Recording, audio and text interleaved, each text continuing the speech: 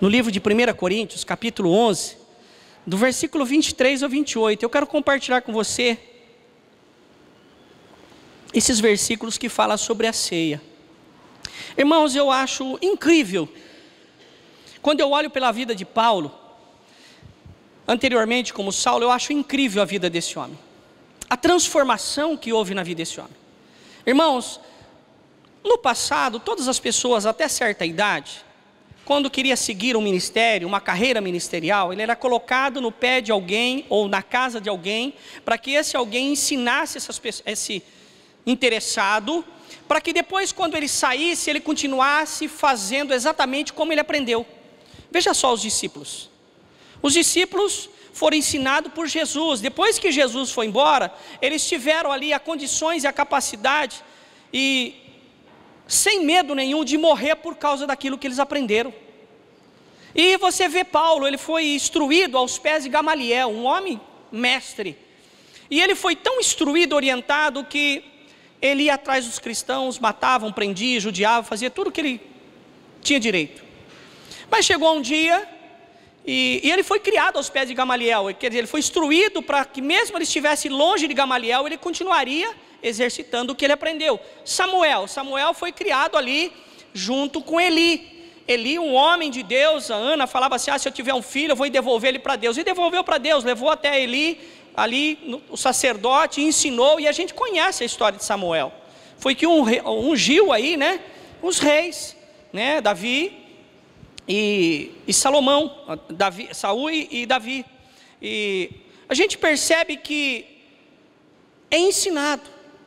E Paulo foi um confronto à vida dele, ele achando que aquilo que ele estava fazendo, porque ele tinha aprendido um dia, ele achou que aquilo era o suficiente, e ele se apoiou tanto naquilo que não tinha abertura para aprender mais nada. Por mais que alguém chegasse para ele e dissesse assim: Saulo, você não está agindo correto, está agindo errado. Era um motivo para que é, fosse até preso, pudesse, porque ele tinha autoridade, ele tinha cartas para prender em nome do rei.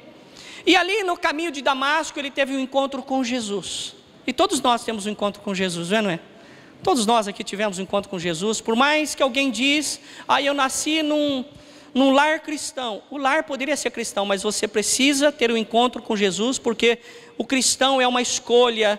Ninguém escolhe, ah, meu pai era crente, eu tenho que ser crente. Não, você vai acabar sendo crente por causa da oração, da intercessão. Isso pode desviar do caminho, vai para onde quiser, vai igual o filho pródigo, vai voltar para a casa do pai. Então a nossa oração jamais será em vão. Quando você ora para o teu filho, ora para a tua família, Deus no tempo certo, o tempo de Deus, vai trazer de volta e vai ali honrar as suas orações.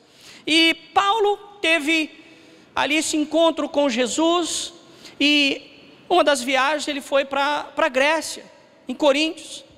E a primeira carta que ele escreveu aos Coríntios é justamente onde nós estamos. Ele precisava ensinar o povo daquela terra quem era Jesus, mas eles não tinham visto Jesus. E aí, se você for ver em outro lugar, ele diz assim: Seja meus imitadores, como eu sou de Cristo.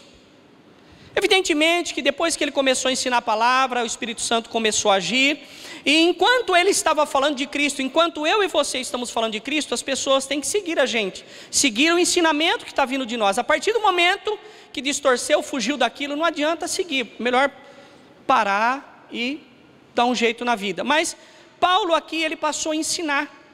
E ele chegou para o povo e estava ensinando aquilo que nele não conviveu com Jesus. Ele foi a pessoa que mais escreveu cartas, mas ele não teve um encontro físico com Jesus. Ele teve um encontro espiritual, onde Jesus falou assim: Saulo, Saulo, por que me persegues? Sabe, ele teve esse tipo de encontro, ao contrário dos outros discípulos, que viu Jesus, conviveu com Jesus, caminhou com Jesus, comeu com Jesus, viu os milagres de Jesus, e você percebe que depois que eles foram instruídos, eles morreram por causa da instrução. A instrução é tudo, o ensinamento é tudo, a orientação é tudo. A orientação, o estudo, o aprendizado nos tira de uma ignorância, nos tira de um caminho, de algo que a gente desconhece. Irmãos, depois que a gente conhece a verdade, a gente não compra mais produto falso. E se comprar, sabe que é falso. porque a gente compreende isso, a gente sabe o que é verdadeiro. E aí Paulo teve esse encontro e ele vai ministrar a ceia agora para aquele povo lá. E nós estamos uma noite de ceia aqui. E eu quero ler com você esse trecho do versículo 23, o capítulo 11 de 1 Coríntios, até o versículo 28. E nós vamos depois falar algumas coisas sobre esses versículos que Deus ministrou a mim. Olha o versículo 23. Porque eu recebi do Senhor o que também vos entreguei, que o Senhor Jesus, na noite em que foi traído, tomou o pão e, tendo dado graças, o partiu e disse: Isto é o meu corpo que é dado por vós. Fazer isto em memória de mim. Por semelhante modo, depois de haver ceado, tomou também o cálice, dizendo: Esse cálice é a nova aliança no meu sangue. Fazer isso todas as vezes que beberdes em memória de mim. Porque todas as vezes que comerdes esse pão e beberdes o cálice, anunciais a morte do Senhor até que ele venha. Por isso, aquele que comer o pão ou beber o cálice do Senhor indignamente, será réu do corpo e do sangue do Senhor. Examine-se, pois, o homem a si mesmo, e assim coma do pão e beba do cálice. Irmão, no versículo 23, quando Paulo diz assim: Porque eu recebi do Senhor o que também vos entreguei, a gente entende que ele aprendeu com o Senhor e agora ele precisa ensinar aquilo que ele aprendeu do Senhor a outras pessoas que vão ser levadas a ser do Senhor. Cada vez que nós compartilhamos da palavra de Deus com alguém, falamos de Deus com alguém, eu momentaneamente sou o instrutor daquela pessoa, eu sou a, o mestre, eu sou o ministrante, eu sou o missionário, é alguém que está transmitindo conhecimento. E quando ele fala dessa maneira, porque eu ensino vocês, é porque o ser humano, eu e você, nós precisamos ser ensinados. O ser humano, a própria palavra de Deus diz assim: conheceis e prosseguirem. A gente precisa conhecer. Uma criança, quando nasce, ela, ela não sabe falar. Então o pai, a mãe, o responsável, vai ensinar a criança a falar. E a gente tem que tomar cuidado até com o que ensina, porque às vezes a criança vê na televisão, porque a televisão hoje em dia é mais um antro de perversidade e qualquer outra coisa, né? Aprende a fazer tudo, menos o certo. E aí ela vê alguma coisa errada na televisão, olhando pelo olhar de Deus, errada, certa para o mundo, a gente não está para questionar o mundo, porque o mundo jaz no maligno, a gente não deve questionar, e sim questionar a nossa comunhão com Deus. Às vezes ele vê um palavrão na televisão, vê um palavrão dos amigos, e aí quando a criança fala um palavrão por ser criança, às vezes o palavrão sai diferente, a gente acha graça do que falou. Ai, que bonitinho, ai, que palavrão bonito. Fala de novo, papai ver. Ah! Só que essa criança não vai conviver só com você. Quando ela chegar no meio de outras pessoas, que você quer manter a ética, que você chega lá, talvez assim, a criança chega com aquele palavrão que aprendeu. Olha, pai, aquilo que eu aprendi, eu falei para o nenê, para o menino, amiguinho meu solta o palavrão. A vergonha vem. A criança, nós estamos aprendendo todo o tempo. Todo o tempo nós estamos aprendendo. Ao contrário dos animais. Irmãos, esse dia, esses dias eu digo, mas já faz uns cinco anos. É que não passa rápido para mim, né? É, há um tempo atrás eu levei uma cachorrinha que eu tinha na beira de um rio e, e, a gente começou até a brincar com ela. A gente pegava a cachorrinha assim, pelas costas, com as perninhas para baixo, ameaçava colocar no rio, ela começava a ligar o motorzinho. Você tirava, ela parava. Liga o motorzinho, a gente começou a brincar com isso. A cachorra apavorada, com o olho desse tamanho, e a gente brincando com a sorte da cachorra. Colocava perto da água, ela balançava as patinhas para nadar, tirava, ela parava. Irmãos, sabe o que eu aprendo aqui? Os animais, eles já nasceram prontos. Os animais, eu morei em sítio, nasce lá o porquinho, nasce lá o animal, ele já, a, a mamãe não pega, a vaca não pega o bezerrinho no colo, fala, vem cá, vou deitar aqui, vou te dar mamar, vem aqui. Não, o bezerrinho já sabe até onde é já, já vai lá mamar. O cachorro também, quem que ensinou o cachorro a latir? Passarinho a cantar, quem ensinou o passarinho a voar, gente? Presta atenção. Quando é que ele sabe que tem que voar? É a natureza, sabe? Ele nasceu com essa natureza, ele está pronto. Eu e você, como ser, nós devemos, Deus dá liberdade da gente fazer escolhas. É por isso que a gente tem que tomar cuidado com aquilo que nós aprendemos. Porque dependendo do que aprendemos, pode ser até importante, mas a gente tem que vigiar para que aquilo que aprendemos não venha nos levar para longe de Deus. Então Paulo está falando assim: aquilo que eu aprendi, isso eu estou ensinando, estou compartilhando, estou falando para você, porque eu recebi do Senhor o que também vos entreguei. Entregar é ensinar. E nós precisamos, a palavra de Deus é assim: ensine a criança no caminho que deve andar, e mesmo depois que for velho, vai o quê? Não vai se desviar. Mas o que, que é necessário? A prioridade é ensinar. E às vezes nós precisamos ensinar também com palavras, porque não é só com palavras que a gente aprende, nós aprendemos com exemplos. Não adianta eu falar para o meu filho, não fume, sendo que eu estou com com mardito, como dizia atrás, no meio do meu dedo, porque mardito que vai fazer mal para mim, vai me trazer maldição, doença. Não tenho nada contra quem fume, mas eu oriento: olha, faz mal, isso mata, isso mata devagar. E alguma pessoa, quando eu falei que mata devagar, ela falou assim: estou sem pressa. Mas irmãos, nós precisamos cuidar, mais do que se infrio, deixar as coisas ruins tomar conta da gente, a gente precisa entender que nós não somos, uma, nós não somos pessoas comuns. Nós somos templo do Espírito Santo de Deus. Isso quer dizer que Deus mora dentro de nós. E se Deus mora dentro de nós, a gente tem que pedir autorização para Ele, para saber se eu posso colocar aquilo que eu estou querendo para dentro. Por exemplo, Deus criou esse corpo para ele morar dentro, certo? A gente tem cuidado desse corpo, aprendi esses dias, pedi numa conferência no sábado. A gente tem cuidado do nosso corpo, porque ele é templo do Espírito Santo. Então, tomar cuidado com o que come, com o que se bebe, porque quem está aqui dentro, nada mais, nada menos do que Deus. E aí, se Deus está dentro de nós, eu tenho que tomar cuidado. Quer ver um exemplo? Você pintou a sua casa, deixou arrumadinha, você autoriza eu ir lá? Eu posso entrar na sua casa sem a tua autorização, com a mão suja de barro e colocar na parede que você pintou? Aí você falar, pastor, você está doido. Fazer um negócio desse, a gente vai rolar aqui.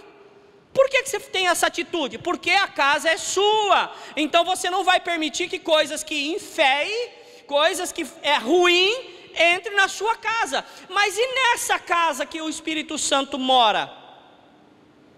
Nós temos autorizado o mal entrar? Nós devemos tomar aí cuidado com isso, vigiar isso. Eu estou aqui para transferir essa informação. O versículo 24 diz assim: E tendo dado graças, o partiu, isto é o meu corpo. Quando diz que é o corpo, não é um corpo literal. Não é um corpo literal, é um corpo espiritual. Porque quando Jesus fala para mim e para você, olha, eu vocês que estão ficando, vocês vão fazer milagres maiores do que eu fiz. Não é assim que diz na palavra de Deus? Deus fala assim: Ele vai, olha, vocês vão fazer milagres maiores do que eu fiz. O que, que Jesus está fazendo quando Ele dá o corpo, quando Ele dá o sangue para a gente? Ele está transferindo para mim e para você esse poder, essa autoridade no nome de Jesus.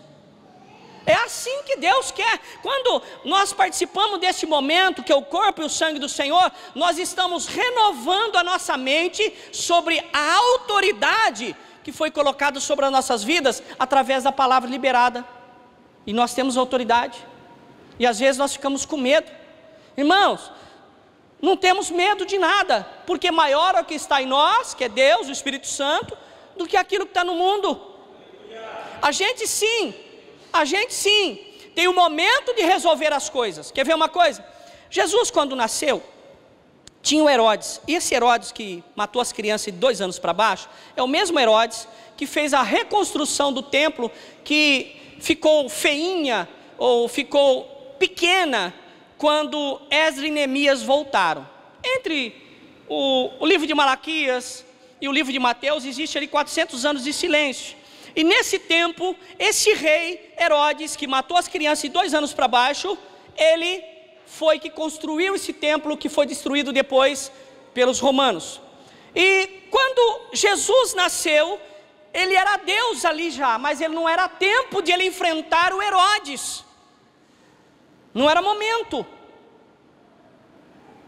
E o que, que ele fez? Ele esperou o tempo. Então, naquele tempo, quando começou a matar as crianças de dois anos para baixo, eles fugiram para o Egito, fugiram, fugiram, fugiram. E teve um dia que Jesus estava pregando no templo, e ali as pessoas já estavam dando um jeito de pegar ele, de prender ele, de ele saiu, ele fugiu. Por que isso? Porque existe o tempo de Deus para que as coisas sejam solucionadas. Aí você poderia dizer, mas se ele tivesse se entregado na, quando perseguiram ele, porque existe tempo de Deus, existe tempo para todas as coisas. Plantar, colher, existe o tempo. Então Deus, talvez você está olhando e fala assim, pastor, eu não estou conseguindo enfrentar esse problema. Ei, acalme teu coração. Deus está te preparando, não só para enfrentar, mas Deus está te preparando para você enfrentar e vencer. É isso que nós precisamos. Jesus, ele Aí você vai falar assim para mim, pastor, mas ele enfrentou, mas ele foi crucificado. Irmão, a maior vitória não é contra os seres humanos, a nossa luta não é contra a carne, a nossa luta não é contra sangue, a nossa luta é contra os principados espirituais. Aos olhos do mundo, de quem não é cristão, de quem não acredita em Jesus, Alguém que é chamado de ateu, porque para ser ateu precisa até ter, acreditar que Jesus não existiu e para isso precisa fé. Né? Ele precisa acreditar em alguma coisa. Então ele não, é, ele não é ateu, ele acredita em alguma coisa que não é Jesus, não é Deus. E ele acredita em alguma coisa. Só não acredita em Jesus. Aí o que acontece? Ele não acredita. Aquele que não acredita passa a acreditar pelas instruções, orientações, e no tempo certo, Deus vai nos capacitar para obter a vitória através da capacitação do Senhor. Por isso que nós estamos aqui para aprender. Nós estamos aqui para ser orientado pela palavra de Deus, porque não é a hora de repente de você enfrentar essa luta. Continue se preparando, porque quando a luta é certa, até na sua morte traz vitória para sua casa, para tua família. Jesus morreu aos olhos de quem não acredita em Deus, os ateus. Fala assim: ah, ele perdeu. Não perdeu, meu irmão. Ele venceu o mundo espiritual. Ele abriu ali o acesso que não tinha naquele tempo das pessoas falar direto com Deus. Irmãos, quando Jesus morreu, você já ouviu falar que o véu do templo se rasgou de alto a baixo? Quem já ouviu isso? Eu acredito que todos já ouviram isso. O que, que acontece? Com a morte de Jesus, antes da morte de Jesus, quem podia entrar no lugar que a arca estava, a arca da aliança estava, que era o trono de Deus na terra, era a arca, e ficava no lugar limitado que só o sumo sacerdote tinha acesso, uma vez por ano.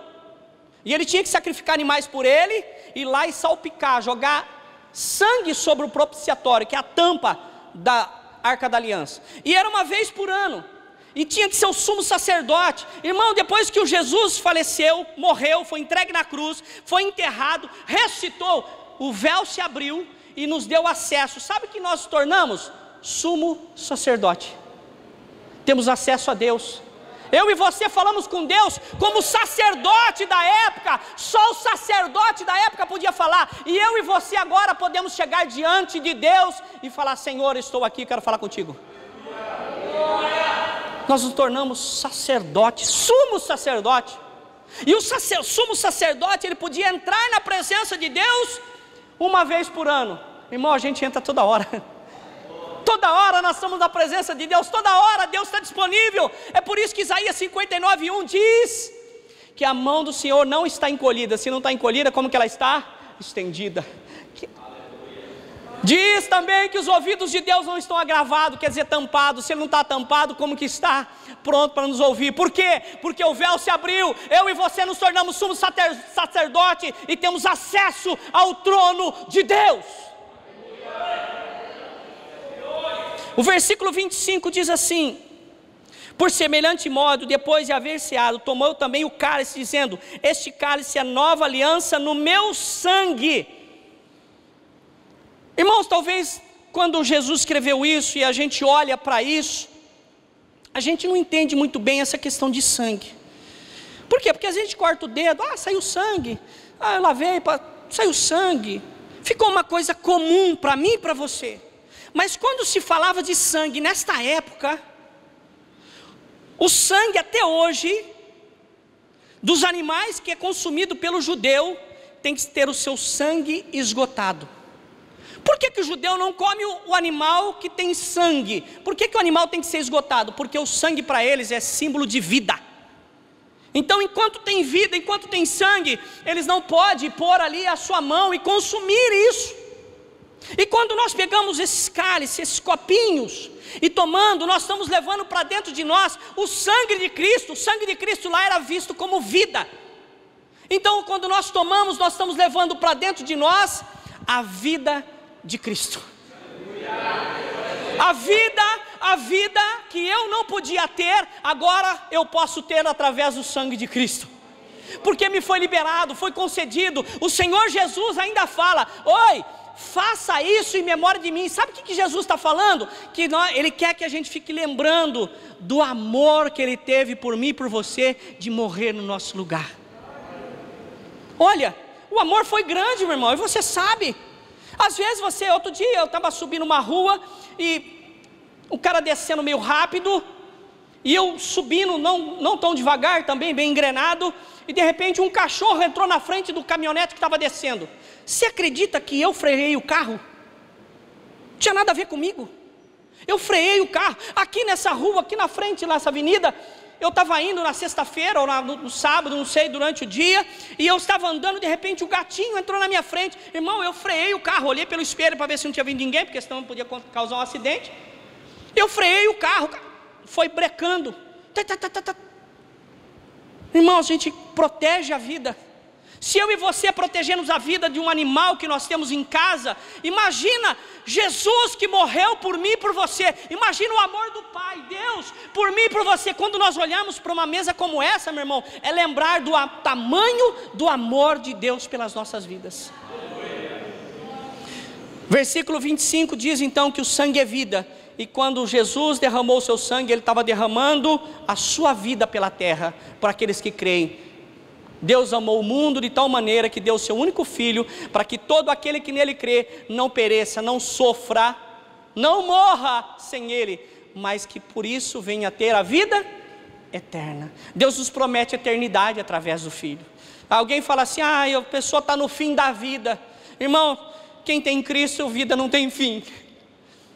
Pode ter ali um tempo de descanso, de sono, mas logo, logo o Senhor chama para uma vida eterna.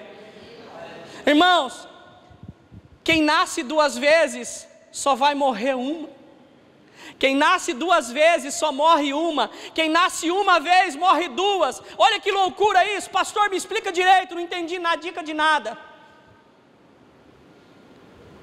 Quem nasce somente do pai e da mãe e não nasce do espírito, quem nasce só do pai e da mãe, quando morre, morre nessa terra e vai morrer no inferno eternamente. Então a morte da carne e depois a morte do espírito. Porque só nasceu do ser humano, não houve o nascimento do batismo, mas quem nasceu da mãe, mas também nasceu do batismo, só vai morrer uma vez, que a morre para essa terra e depois é só vida eterna. Quem nasce uma vez, morre duas. Quem nasce duas vezes, morre uma vez só, é para essa terra e vive eternamente. Você é escolhido, você é escolhido, você é escolhida para uma vida eterna. Você vai morrer só uma vez e depois a vida é eterna na presença de Deus. A palavra do Senhor continua nos ensinando que o versículo 24 e 25, quando ele fala em memória de mim, Jesus quer lembrar justamente que de tudo aquilo que ele fez. E muitos de nós, nós não devemos ser ali aquela pessoa que olha e vê Jesus apanhando, sendo preso injustamente, sofrendo o que sofreu, carregando aquela cruz, teve uma ajuda para carregar a cruz porque não estava aguentando, estava debilitado fisicamente. Levou no Gólgota, foi ali pregado na cruz, passou pelo que passou, e nós devemos olhar para isso não como uma questão de sofrimento, sabe? É, é como se Deus estivesse dando para nós um presente. Olha, tudo isso que está vendo que aos seus olhos é ruim, para os olhos do mundo é ruim, ver uma pessoa sofrendo como Jesus sofreu, mas quem olha com os olhos espirituais, vê em tudo isso salvação. Você sabe o que, que o Satanás, o diabo, os demônios quer? e gostaria que tivesse acontecido? A vitória de Satanás contra Jesus é quando Jesus estava pregado na cruz.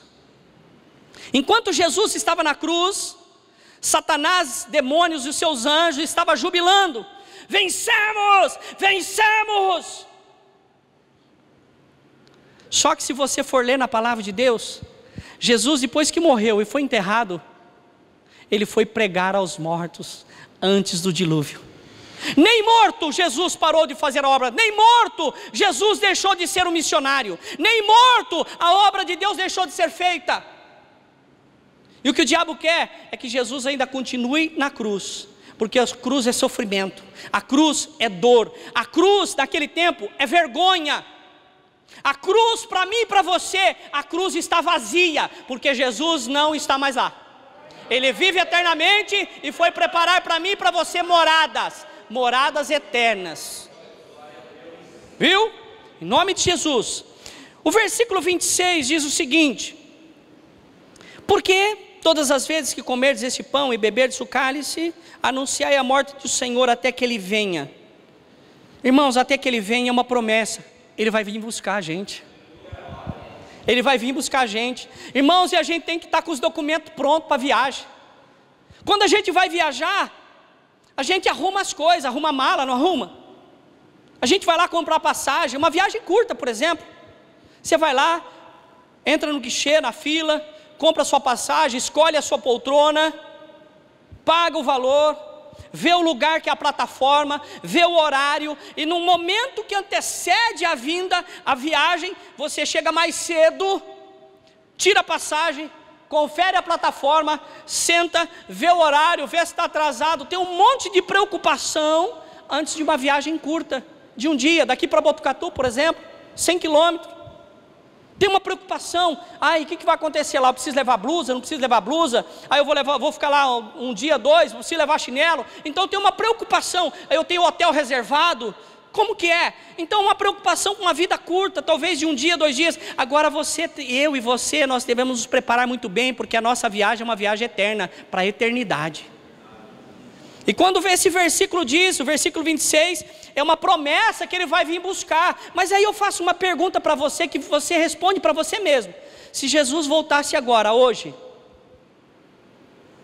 ele te levaria? Se você fosse Deus, se Jesus, se você fosse Jesus, vamos imaginar uma situação aqui que é impossível. Às vezes a gente quer ser Jesus, né, somente nas vitórias, mas no momento que ele sofreu, a gente quer, Jesus, esse Jesus eu não quero não, Jesus de vitória. Mas se você pudesse ser Jesus agora, e olhasse para você, você se escolheria, você escolheria você para morar eternamente? Irmãos, às vezes a gente tem que parar e analisar, olhar no espelho espiritual e perguntar: espelho, espelho meu, que cristão sou eu. Porque cristão de vir à igreja, irmão, o banco não sai da igreja. Se converteu? Uh, os microfones não saem daqui. O fato deles estarem na igreja, eles vão para o céu. É a vida com Deus, meu irmão. Aqui dentro da igreja nós estamos sendo capacitados para viver a vida de Cristo lá fora. Aqui nós nos abastecemos, paramos no posto do Senhor e vamos encontrar passageiros, levar para o campo de Deus, levar para o Senhor. Nós vemos aqui preparar, irmão, na igreja não dá. Se o diabo, o capeta, os demônios, eu sei que ele está aqui na igreja, demônios estão aqui, estava na presença de Jesus, foi na presença de Deus do céu, não vai estar aqui na igreja? Claro que está, está aqui sim. Ai, pastor, não fala isso. Tá, irmão, tá, estou falando que você está aqui. E às vezes ele pode estar sentado do nosso lado. Ai, não fique com medo, não. Maior é o que está em você. Mas ele estando na igreja, quietinho, ele se passa por crente. O diabo de boca fechada é um crente. Ele conhece a Bíblia. Ele viu Jesus. Ele morou no céu. Ele se transfigura em anjo de luz. Ele faz sinais. Sinais é milagres. Ele cura. Se ele colocou enfermidade, claro, ele cura. Quem vê um demônio sentado no banco da igreja, através de uma vida, vai falar que é o maior crente. Quem olhou para a vida de Caim e Abel indo ofertar, todo mundo aprovava Cael e Abim. Ah, Cael, Caim, sai daí. Sai desse corpo. Caim e Abel. Quem olhava para os dois, olha, dois crentão, hein? Hum, Deus olhou para um e falou assim: ó, está reprovado. É Deus quem olha para o nosso interior, meu irmão. Eu posso julgar os seus frutos. O que você faz como cristão, isso eu posso. Se os seus frutos não estão tá de acordo com aquilo que Deus me direcionou para a tua vida, você vai ter problema nesse lugar. Porque Deus tem uma direção através da minha vida para esse lugar. Deus tem uma direção para cada pastor Fernando da igreja Mefir, Filhos do Reino. Deus tem uma missão através da vida do pastor Jean. E aí? Eles ministram lá de um jeito, mas aqui é desse jeito. Tem coisas que, costumes, que faz com que nós venhamos ser diferentes. Ah, o pastor não gosta de pular, eu, eu não gosto, tenho a minhas, mas o que, que o senhor tem? O presbítero pega de mim diferente, o presbítero pega de um jeito que eu falo, presbítero, você vai pegar hoje, eu preciso ouvir os negócios, sei lá. Né? Ele tem um jeito, pá, já, o primeiro grito nele já desentope meu ouvido. Tem jeito, eu gosto de ver ele pregando, mas é só assim? Não, é o jeito dele pregar. O pastor Adriano já é um pouco mais parecido com o meu, mas o cajado já é mais grossão. É o jeito de pregar. O pastor Fernando, quem já viu o pastor Fernando pregar, meu irmão, ele prega uma mansidão, mas com isso ele vai descarnando. É o jeito de fazer a palavra de Deus. Jesus está falando assim: olha, lembrai-vos do sacrifício, lembrai-vos do que eu fiz para você, se prepare, eu vou vir buscar a igreja, eu vou vir buscar você, então se prepare para o dia, porque o dia não vai ser avisado, né? a hora e nem o dia. Vai chegar e se nós não tivermos com a mala pronta, babau. Por isso que eu perguntei para você, se Jesus voltasse hoje, acabou o culto aqui, Jesus está ali, na fora, ali fora, parado com o ônibus dele. Você estaria, cacife, a tua vida com ele, daria condição de ser escolhido? Eu preciso falar isso para você. Deus me chamou para que eu pregasse de uma maneira que levasse você para o céu e não para o mundo. É vida eterna. E o versículo 27, olha que interessante. Pois isso, aquele que comer o pão ou beber o cálice do Senhor indignamente será réu do corpo e sangue do Senhor. Sabe o que o Senhor está falando? Que para eu participar do corpo, eu não preciso ser santo, não ter pecado nenhum, mas eu preciso entender que a palavra indignamente significa desonesto. Se você colocar aí no Google depois, que agora não pode, tá bom? Só lá em casa, depois de terminar o culto. Colocar no Google significa indignamente, vai falar de desonestidade. O que é ser desonesto? Você sabe que você está pegando uma coisa que não é para você, porque você não entende o que você está pegando. Nós precisamos entender por que, que tem discipulado para batismo aqui. Por que, que tem? Porque a gente precisa ensinar as pessoas. Jesus, quando ministrou a ceia, as pessoas estavam caminhando com eles, as pessoas, os discípulos estavam caminhando com ele por três anos, três anos e pouco, viu o pão ser multiplicado duas vezes, Pedro andar sobre a água, morto ressuscitar, demônio sair, entrar nos porcos e morrer, viu um monte de coisas, Lázaro ressuscitar, ele viu sinais, ele aprendeu, eles entenderam, e mesmo assim, depois de meter a mão na ceia, estar ali no momento da ceia houve traidor. Isso pode acontecer em qualquer lugar.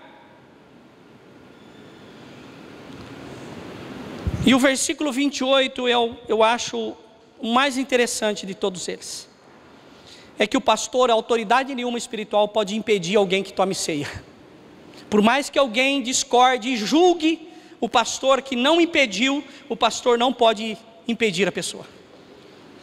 Porque o versículo 28 diz assim: Examine-se, pois, o homem a si mesmo. É algo muito pessoal. Sabe por que Jesus falou isso? Porque se ele permitisse eu julgar você, eu estaria me colocando no lugar de Deus. Quem julga não tem liberdade, não dá liberdade de ser julgado. Porque eu fui colocado numa condição de julgar você e não ser julgado por você. Então, quando a gente faz alguma coisa errada, coloca a mão na ceia, estando ali desonesto, eu tenho peso por isso. Porque eu não me examinei, a minha vida está em pecado, a minha vida pode estar em qualquer situação. Eu estou em pecado, eu estou colocando a mão, eu sei que eu estou vivendo em uma situação Examine-se, pois o homem é a si mesmo. Eu tenho que examinar. Irmão, ninguém vai fazer exame de uma doença, por exemplo. Chega lá, um exemplo da minha prima. Ela foi, viu que a voz dela estava ruim, foi fazer um exame, tinha câncer na garganta. A voz dela estava estranha. Você acha que depois que saiu de lá, que identificou que ela tinha três nódulos no pescoço, você acha que ela saiu, glória a Deus, aleluia, peguei um câncer, eu queria tanto. Não, irmão. Ela vai dar um jeito de procurar uma solução para aquilo. O pecado, se nós não cuidar, ele é um câncer, ele mata a pessoa espiritualmente. Examine-se, pois o homem é a si mesmo. Eu preciso olhar para a minha vida. Usar a Bíblia, irmão, eu vou repetir muitas vezes isso aqui. Usar a Bíblia não como janela para ver a vida do irmão. Usar a Bíblia como espelho para ver como que está a minha vida em relação a ela. Usar a Bíblia como espelho e não como janela para ficar julgando a vida do outro. É algo sério, algo sério isso. Examine-se, pois, o homem a si mesmo. E depois que eu examinei e vi que eu estava em pecado, o que, que eu tenho que fazer? Me liberto disso. Fala, Senhor, ó, não quero isso para minha vida, não.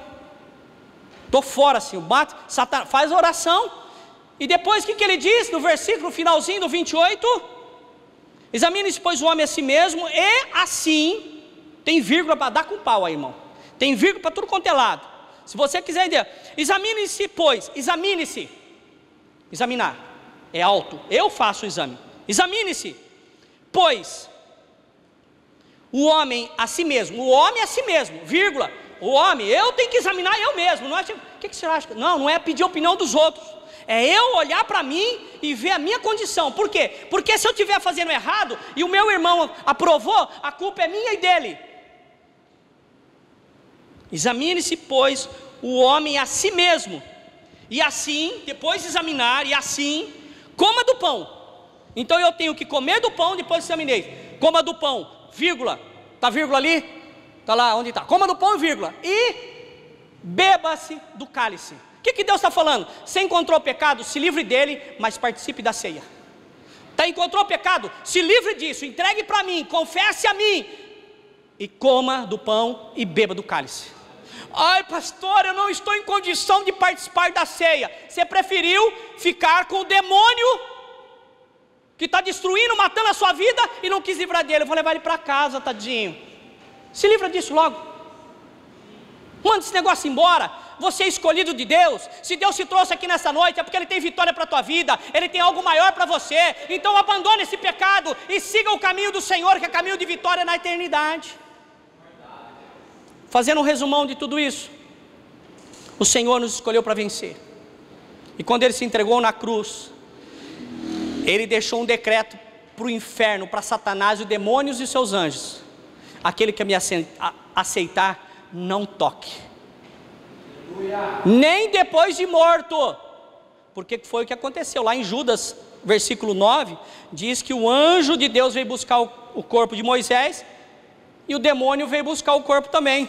Porque Moisés lá no começo tinha matado um egípcio, lembra disso? Esse corpo é meu, ele não te pertence. Falou, não pertence a você, porque ele serviu ao Senhor Deus vivo. E olha que Deus, o Senhor te repreenda, irmão, até na nossa morte, no cemitério, só os ossinhos, os pós, pozinho, ninguém vai tocar em você, porque você é um escolhido, uma escolhida de Deus. Amém?